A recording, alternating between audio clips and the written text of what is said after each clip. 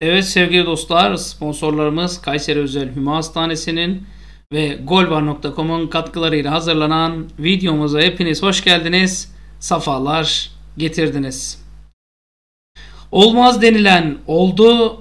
Lincoln sol beke alıştı. Aslında yorum kıvamında tam böyle spor e, programı kıvamında bir video çekmek istiyorum ama inşallah başarabilirim. Fenerbahçe'mizin, bu arada kısa kısa konuşacağım merak etmeyin. Fenerbahçe'mizin Brezilyalı oyuncusu bu sezonki flash transferi Lincoln Henrique. Bu sezon e, ilk defa oynadığı sol bek pozisyonuna da alışmış gibi bir görüntü çizdi. 10 numara olarak transfer edildi. Ancak sol şeridi parsellemeye başladı. Babakars Fatih Karagümrük maçında yine bu sefer de sol bekte görev aldı. Normalde e, left winning back e, sol hücumcu bek ya 3-4-3'ün sol beki gibi oynuyordu ama kısmen orta saha gibi görev vardı ama bu sefer hakiki orijinal katışıksı sol bek olarak görev aldı ve bu kez çok daha iyi göründü. Bir de asist yaptı. 16 maç 6 asist arkadaşlar. Hani ben bir önceki videoda dedim muhtemelen izlemişsinizdir değil mi videoyu? Yani izlememezlik yapacağınızı zannetmiyorum ben. Çünkü seviyorsunuz inşallah bu kanalın videolarını. 16 maç 6 asist ve biz Türkiye'nin en büyük takımıyız. Şampiyon olma olana kadar durmayacağız demiştim. İnşallah şampiyon oluruz. İsmail Yüksek'ten flash bir olay Trabzonspor. Ne Trabzonspor'u? Şimdi Fenerbahçe'nin ve A milli takımın başarılı oyuncusu İsmail Yüksek memleketi İznik'te vatandaşlarla birlikte maç izlemiş arkadaşlar. Trabzonspor Kasımpaşa maçını izlemiş. Biliyorsunuz Türk milli takımında Fenerbahçeli diye oynatılmayan ama oyuna girdiği anda Türk milli takımının belki de haysiyetini yani turnuvadaki haysiyetini yanlış anlaşılmasın turnuvadaki haysiyetini kurtaran İsmail Yüksek yani orada berabere kalsaydık gruptan çıkamıyorduk. Hala C ligindeydik. Hatırlatayım. İznik'te vatandaşlarla birlikte maç izlemiş. Görenler şaşırmış. Bol bol fotoğraf çekilmiş. İzinliydi. Ve memleketi Bursa'ya gelip akraba ve arkadaşlarla hasret giderdi arkadaşlar. Bakın memleketi Bursa'ya gelip. Anlatabiliyor muyum? İznik Spor'un yaptığı gece antrenmanını ziyaret etmiş. Tatlı ikramında bulunmuş. Bol bol fotoğraf çekmiş. Bir kahvehanede Trabzonspor Kasımpaşa maçını izlemiş. Ee, Birçok arkadaş yazmış Trabzonsporlu mu? ya, ya Trabzonlu mu? Trabzonspor mu? Arkadaşlarım. Bakın Trabzonlu arkadaşlar bir insan Fenerbahçeli olunca öcü değildir. Ya da Fenerbahçeli arkadaşlar bir insan Trabzonlu olunca öcü değildir. ya şunları aşın ya. Adam Bursalı. Bursa'da gitmiş televizyon açmışlar. Bu maç denk gelmiş. Ya Başakşehir'in maçını izleseydi Emre Belözoğlu hayranı mı diyecektiniz? Hani yeni Karaman Spor maçı varmış. İznik Spor'a başarılar demiş. Ya halkın çocuğu bunlar ya. Bunlar halkın çocuğu. Ersun Yanal'dan bomba sözler tam 300 milyon euro. Arkadaşlar şimdi Ersun Yanal'ın kişiliğini, karakterini, oynattığı futbol yapısını falan filan hiçbir şey konuşmayacağız burada. Burada Ersun Yanal'ın fikirlerini konuşacağız. Yıllar önce yabancı tartışması yapılmıştı. Hani kaç yabancı oynasın, neden oynasın şöyle bir. Ersun Yanal'ın cümleleri ya kitap yazılacak cümlelerdi. Adam çıktı dedi ki tamam yabancı oynasın. Kabul. Yabancı sayısını belirleyelim. Kabul. Ama neye göre? Amacımız ne? Önce amaç belirleyelim. Şimdi arkadaşlar eğitimde de öyle. Önce hedef belirlenir. Sonra program hazırlanır. Sonra içerik hazırlanır. Sonra plan çerçevesinde hedefler e, ne derece ölçüldü diye en sona değerlendirme yapılır. İşte hani oraya gelene kadar işte çeşitli değerlendirmeler yapılır. E, sınavlar şuna bunlar. En sonunda da süreç değerlendirilir. Ersun Yanal da aynısını söyledi. Biz önce bir hedef belirleyelim. Sonra plan, program ve çalışmalara başlayalım. En son değerlendirelim. Yani amacımız ne? Şampiyonlar Ligi şampiyon olmak mı? UEFA kupası kazanmak mı? Avrupa'dan herhangi bir kupa mı kazandırmak? Milli takım düzeyinden başarılı olmak? Takımlar düzeyinde her sene Avrupa'da mı yer almak? Her sene Şampiyonlar Ligi'ne fix hani mesela e, Ukrayna takımları yapıyor. Fix Şampiyonlar Ligi'ne 2-3 tane takım gönderiyorlar. 2-3 tane de UEFA'ya bitti. Ya da Rus takımları gönderiyordu. Aralarındaki tartışmadan dolayı Ruslar gönderemez oldu. Mesela Zenit değil mi? Her sene banko oradaydı. Her sene Zenit her sene banko oradaydı. Mus- Mustafa takımlarından biri Lokomotiv Mustafa ya da Spartak Mustafa'dan biri de gidiyordu bir şekilde. Her sene fix. Hani bu mu amacımız? Futbolcu yetiştirmek mi? Futbolcu yetiştirip satmak mı? Doğru transfer yapmak mı? Hani futbolcu pazarı haline gelmek mi? Altyapıdan oyuncu çıkarmak mı? Önce bir belirleyelim. Hepsi olsun karışık. Hepsi olamaz diyor. Mantık olarak bunu yapman için senin çok ama çok radikal değişiklik. Türk, Türk milli takımı Dünya Kupası'nda yok. Euro 2024'te olacak mı? Hayır olmayacak. Olmayacak. Şimdiden söylüyorum bak. İki sene önceden söylüyorum. Bu kafayla olmaz. Olamaz. İmkanı yok. Herhangi bir Türk takımı UEFA Kupası'nın Şampiyonlar Ligi'ni kazanıp önümüzdeki 50 sene boyunca hayal. 50 sene. Çünkü bu işler öyle bir senelik iki senelik değil. Üst üste koymanın eseri. Üst üste koymanın eseri. Neyse arkadaşlar. Ee, A milli takımı da çalıştırmıştı. Fenerbahçe'de de görev yapmıştı. Türk futbol tarihinin en erken şampiyonluğunu da Fenerbahçe'ye yaşatmıştı Ersun Yanal. Üstelik herhangi bir hakem kollaması, herhangi bir e, farklı şeylerin kollaması olmadan hakkıyla kanırta kanırta e, olmuştu. Aynı Adnan Menderes Üniversitesi'nde düzenlenen 6. Akademik Uluslararası Spor Araştırmaları Kongresi'nde öğrencilerle buluşmuş. Avrupa'da olan sistemi kurduğunu ve keşfettiği oyuncuların toplam değerinin 300 milyon euro seviyelerinde olduğunu söylemiş. Ersun Yanal. Ya, demiş ki arkadaşlar sporu değil skoru severseniz işin içine hırs, öfke ve nefret girer demiş. Skor Bahçeliler size söylüyor. Bu durumda yaptığınız işi sevmekten uzaklaşırsınız. Kavga ile sonuçlanan şey asla spor olmaz demiş. Yaklaşık 40 milyon nüfusu var İspanya'nın demiş. Yani yaşlı nüfusa rağmen iyi bir planlamayla sporda da sanatta da müthiş bir konumda. Ya dünya ünlü diziler, filmler yapıyor değil mi? La Casa de, la Papel, La Casa de la Sport. Yok, La Casa Papel. Mesela ben bile merak ettim, izlediydim yani öyle bir adamlar dizi yapmış. Ya sadece futbol değil tüm branşlarda adamlar başarılı. Tokyo 2020'de 17 madalya. Eğitim var, yapılanma var diyor. Oysa bizim ülkemiz Avrupa'nın en genç nüfusuna sahip. Ama eğitimi yataya indirgeyemiyoruz. 1 ve sıfırlardan 10 numara oluşturmak başlıklı konuşmasında futbolun dev bir ekonomi olduğunu vurgulamış. E, yetenekli gençleri keşfedip üretime dayalı bir sistem kurmalıyız. 1995 yılında Danimarka'yı yenip Avrupa şampiyonu olan kadromuzdan kaçı futbolcu oldu? Ya futbola bakışımı işte o maç değiştirdi diyor.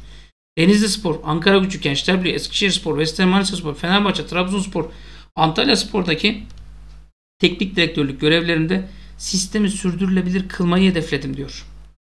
Arda Turan, Umut Bulut, Caner Erkin, Hakan Balta, Selçuk İnan, Yusuf Şimşek, Ümit Bozkurt, Bozkurt, Aliton Tandoğan, Veysel Cihan, Bülent Akın, Agustin, Celalettin Koçak, Adem Dursun, Adem Koçak, Deniz Barış, Uğur Boral, Okan Koç, Serkan Balcı, Yula, Ahmet Hasan, Ufuk Ceylan, Holosko, Yiğit Gökoğlan, Uğur İnceman, Yusuf Yazıcı, Gökdeniz Bayraktar, Abdülkadir ömürü kazandırdığını kaydetmiş. Şimdi Trabzonsporlara sorsan Ersun Yanal geldi Trabzon kasasını boşalttı. Yusuf Yazıcı diyor, Abdülkadir Ömür diyor. Yani yanlış hatırlamıyorsam Trabzonspor tarihinin en pahalı satışçı gerçekten futbolcusu. E Arda Turan e Barcelona'ya kadar gitti. Caner Erkin, hani Yusuf Selçuk İnan. Yani arkadaşlar yani bu isimler basit isimler değil. Etmeyin, eylemeyin. Ya burada mesela şey e, Uğur Boral hocam FETÖ'den yargılandı. Demek ki Ersun da FETÖ'cüydü falan saçmalamayın. Ya, futbolcuyu keşfeden adama etiket vurma çabasına girmeyin. Yani arkadaşlar bakınız. Adam bunları kaydı diyor keşfedip yarışılabilir düzeye çıkarmadan büyüyemezsiniz diyor. Abi bunlar bak. Üst üste koyun 300 milyon euroya ulaşırsınız. Yaklaşık 5 milyar lira. Yani Süper Lig'in naklen yayın gelirinin iki katından fazla bir sistem kurdum diyor. Özellikle Avrupa kulüplerine baktığınızda da sistem bu şekilde işler. Evet orada naklen yayın gelirleri gerçekten çok yüksek. Bu arada yanlış anlaşılmasın. Dokunuş yaptığı oyuncular da var. Mesela Ferdi Kadıoğlu Fenerbahçe'de. Hocam ama bir oynattı bir oynatmadı. Sonra o Ferdi bir oynayıp bir oynamadığı dönemde rüzgar esse ölüyordu, uçuyordu. Altay Bayındır. Daha kimler kimler var ya. Etmeyin eylemeyin ya.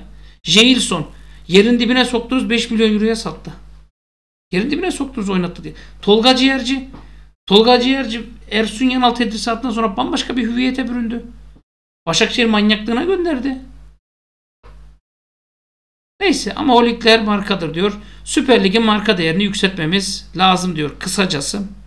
Ya temel sorun yabancı oyuncu sayısı naklen yayın geliri değildir diyor. Sistem tüketim odaklı olduğu için 2 milyar lira ile yani 20 milyar lira arasında reel açıdan bir fark yok. Çünkü 2 de verseniz 20 de verseniz üretemediğiniz sürece yetmeyecek diyor. Yani neşteri vurmuş. Türkiye'de son 10 sezonda 2000'e yakın yabancı oyuncu geldi diyor. Lille, Benfica, Porto, Lyon gibi kulüplerin ana gelir kalemi hiçbir zaman naklen yayın geliri olmadı. Oyuncu satışı oldu diyor. Yani şu son dönemde özellikle doğru. Ya daha önce de belirttiğim gibi adalet ve eşitliğe dayalı, rekabeti arttırıcı NBA tarzı bir sistem kurulmalı. Financial Fair Play kriterleri koşulsuz şartsız uygulanmalı. Yasaklar yerine teşvik edici yöntemler geliştirilmeli diyor. Haklı. Bizde ne oluyor? Aa Galatasaray'ın borcu var. Vergi borcu. Sil. Bir kıyak geçelim. Beşiktaş'ın şu var. Sil. Buna şunu tahsil et. Buna burada araziyi tahsil et. Buna şunu tahsil et. Sil. Ver. Desenize kendi yanınızda kavrulun diye. Ne oldu? Şey yapan neydi onun adı? E, borcunu ödeyemeyen başkanlar hapse girecek denildi. Ne oldu? Aksine daha fazla başkanlar şey yapar oldu. Transfer yapar oldu. Bu arada Rossi 17 maç, 1 gol, 7 asist. Yani Rossi 1 gol, 7 asist. Bir önceki videoda dedim ya Rossi ile Lincoln'un asistine bakın diye. Daha toplam 13 asisti var ikisinin. Daha şu, şu periyotta yani. Yani Ersun hocama katılıyorum. Ekleme yapmıyorum. Eğer Türk futbolunun bir yerlere gelmesini istiyorsak bunu da yapacağız. Ahmet Çakar'dan Flash iddia Fenerbahçe Samiye'de şampiyon olacak demiş. Samiyen diye bir yer yok bu arada. Ali Samiyen diye birisi de Türk futbolunda yok bu arada. Var diyenler yalan söylüyor.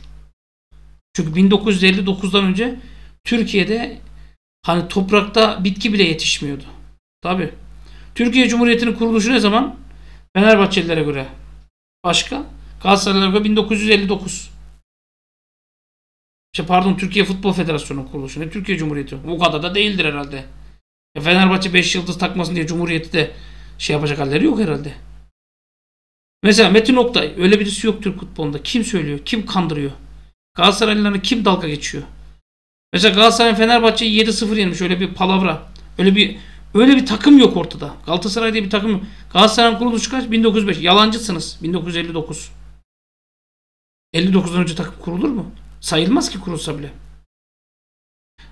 Lig 1959'da başlar Galatasaraylılara göre ama 59 öncesinde 2 sezon Beşiktaş'ın şampiyonluğu sayılır. Ona hiç itiraz etmezler. Bu kadar da şeyler. Fenerbahçe niye 5 yıldız takıyor? Hak ettiği için olabilir mi? Mesela Galatasaray niye 4 yıldız takıyor diyor. Eee diyor.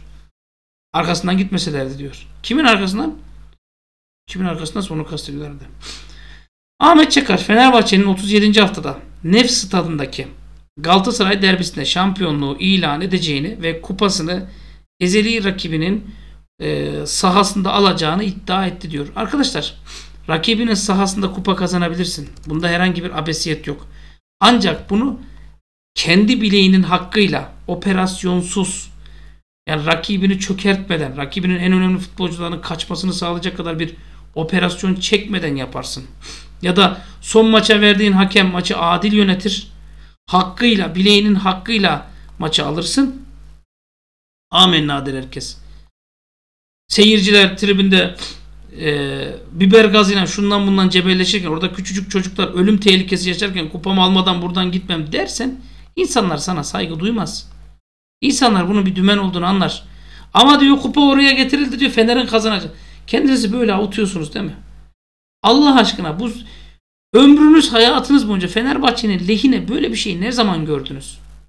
E, Fenerbahçe Galatasaray maçına sulu derbiye çıktı gitti orada. O kadar suyun içerisinde kazandı geldi. Zaten şampiyon olarak gitti. Şampiyonluğunu orada ilan etti. Hani kupa? Bir şey soracağım. O sulu derbinin olduğu statta Fenerbahçe kupa kaldıracak olsaydı kaç Galatasaraylı ölürdü?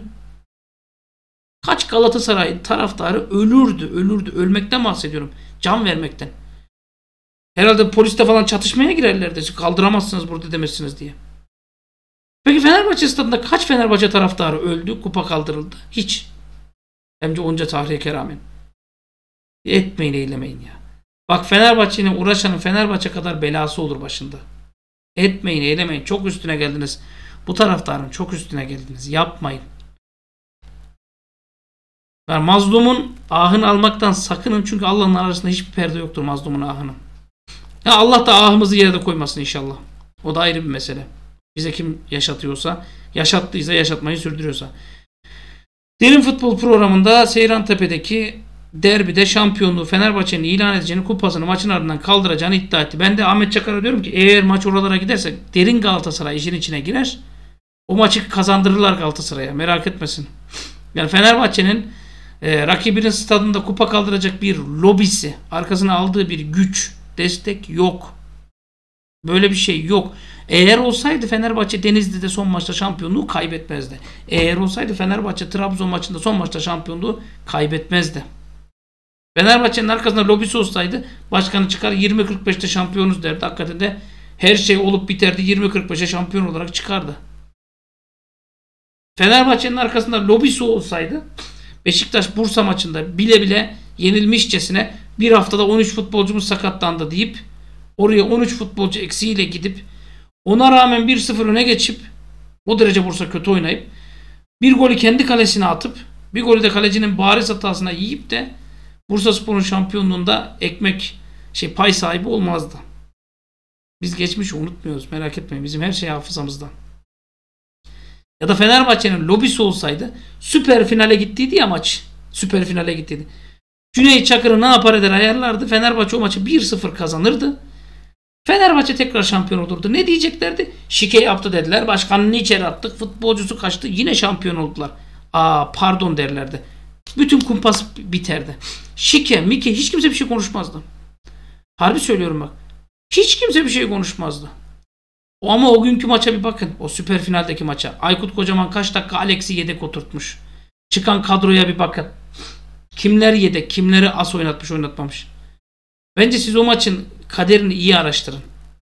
O maçta yani aklın sırrın ermeyeceği kadrolar çıkarılmış. Aklın sırrın ermeyeceği değişiklikler var. Fenerbahçe 10 kişi kalıyor. Penaltısı verilmiyor falan filan. İlginç. Allah herkesin gönlüne göre versin. Gönlünüzdeki hayatı yaşıyorsunuz. O yüzden de millete çamur atıyorsunuz. Dikkat edin. Diyor ki son 40 yılda Galatasaray'ın Fenerbahçe karşısında çektiği en büyük sıkıntı neydi? 6-0'lık skor. Yo. Fenerbahçe'nin çektiği en büyük sıkıntı neydi? Sahasında Galatasaray'ın kupa Hayır alakası yok. Fenerbahçe'nin en büyük çektiği sıkıntı FETÖ ile mücadeleydi. Dünyada bir terör örgütünün yani öyle tanımlanıyordu bilmiyorum. Değişir mi? Zamanı gelince yok terör örgütü değil denir mi bilmiyorum ama bir terör örgütü olarak tanımlanıyordu. Devlet içine sızmış paralel devlet yapılanması diye geçiyordu. Bir terör örgütünün Fenerbahçe ile uğraşmasıydı. Çünkü niye futbolda çok büyük paralar dönüyor. Çok büyük bir ekonomi var. Fenerbahçe Galatasaray Fenerbahçe ile şey yapamazdı ki. Hani eziyet veremezdi ki. FETÖ'ydü, kumpastı, şu bu olmasaydı Fenerbahçe şu anda belki dünyanın en zengin kulüplerinde ilk beşteydi. 11 Ekim tarihinde iddiamdır diyor. 21 Mayıs 2023'te Fenerbahçe Seyrantepe'de Galatasaray stadında şampiyonluk kupasını kaldıracak. Galatasaray ile Fenerbahçe Süper Lig'de bu sezon sondan bir önceki haftasında yani 37. haftada böyle olacak diyor. Ben ısrarlı bir şekilde söylüyorum. Böyle bir şeyin olmasına imkan yok. Böyle bir şeyin olmasına imkan yok. Çünkü Fenerbahçe'nin lobisi yok. Sercan Hamzoğlu, Ali Koç'a helal olsun. Bazı oyuncuları Bunlar özellikle notlarımı aldım. Atilla Salahi ve Crespo'yu çok ucuza aldı ve çok cüz'i miktarlara oynamaları için ikna etti. Bakın iyi dinleyin. Jorge Jesus Arda Güler'i oyuna almıyor ama çok ilgileniyor. Ya bırak diyor bizim taraftar. İlgilense oyunu alırdı. Beğense oyunu alırdı. Sevse oyunu alırdı. Sevmese gider miydi? Terk eder miydi? Sevenlerde mi kabahat? Sürekli el üstünde Arda. Fizik gücünü arttırmak için ayrı bir programla çalıştırıyorlar. Ligin ikinci yarısından sonra Arda'nın daha çok süre alacağını düşünüyorum. E bunu Mustafa Hoca söylediği zaman nav nav dediniz. Yine aynısını söylüyorum. İkinci devre Arda Güler'i çok fazla izleyeceksiniz. Çok fazla izleyeceksiniz. Arda'nın bacaklarına dikkat edin. Açın Arda Güler'in bacaklarına bakın. Hocam biz sapık mıyız? Bacaktaki kaslara dikkat edin. Ne demek istediğimi anlarsınız. Ben burada iki saat anlatmayayım. UEFA Ren Fenerbahçe maçındaki saha olayları sebebiyle Ren kulübüne toplam 39 bin 125 bin euro para cezası vermiş. Demek ki UEFA da arada sırada adil kararlar verebiliyormuş. Bu arada Fenerbahçe AYK Larnaka maçı öncesinde Kıbrıs Rum kesiminde antrenman yapmama kararı almış. Bence doğru bir karar. Çünkü çok uzun bir yolculuk olacak. Ee, bugün yani çarşamba günü 6 saatlik bir yolculuk yapılacak. Belki de bu videoyu izlediğiniz saatlerde bu yolculuk bitmiş olacak.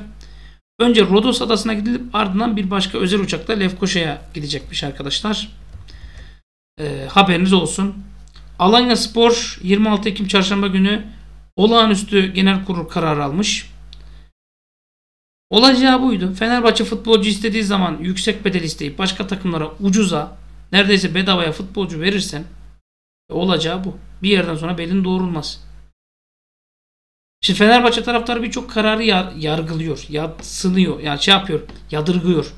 Hocam Jesus niye Max, Maxi Gomez'i istemedi? Jesus niye Vegors'u istemedi? Niye Icardi'yi istemedi? Niye Seferovic'i istemedi? Saha performansından anlayabilir misiniz? Mesela Jesus'un veto ettiği Trabzonspor futbolcu Maxi Gomez oyundan çıkarken ıslıklanmış. Benim yeni haberim oluyor. Islıklanmış. Ama baktığın zaman çok çok ucuz bir fiyata alındı. Değil mi? Yani 3-5 milyon euroya falan alındı herhalde. Yanlış hatırlamıyorsam. 3-3,5 milyon euroya mı alındı? Bir bakayım. Ya baktığı zaman piyasa değeri çok düşük. Yani piyasa değeri 8 milyon euro. Ama kaç almış? Dur. 3 milyon euroya almış. 3 milyon euro. Süper para.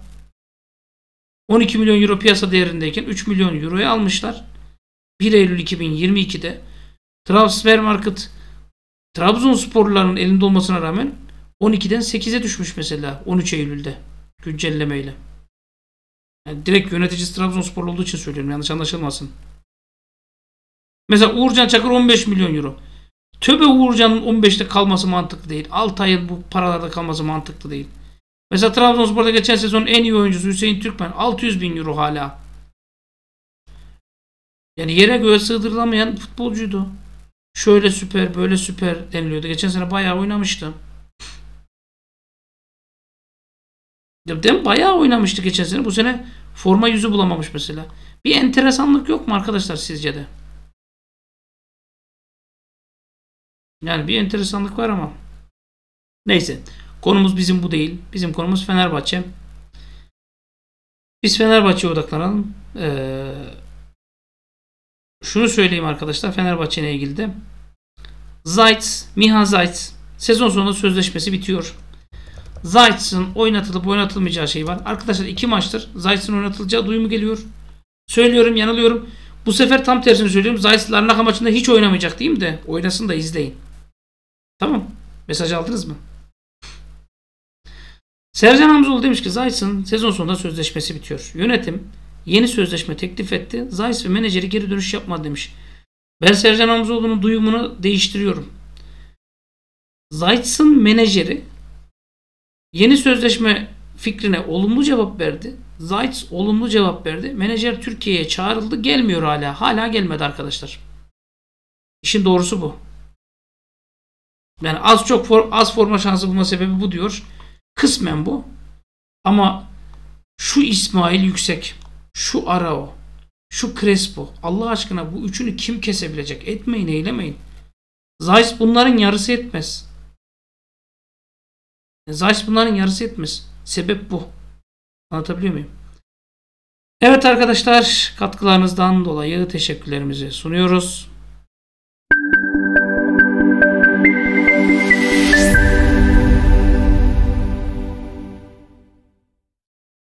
Kapatmadan önce de şunu söyleyeyim. Kendinize çok çok dikkat edin. Yani e, onu da söyleyeyim. Kendinize dikkat edin arkadaşlar. Sizler bize lazımsınız. Biz bir aileyiz. Bazen saçma video oluyor. Ona bile destek verip izleyip beğeni atıyorsunuz. Biz çok mutlu oluyoruz. Allah herkesin yar ve yardımcısı olsun. Görüşmek üzere dostlar.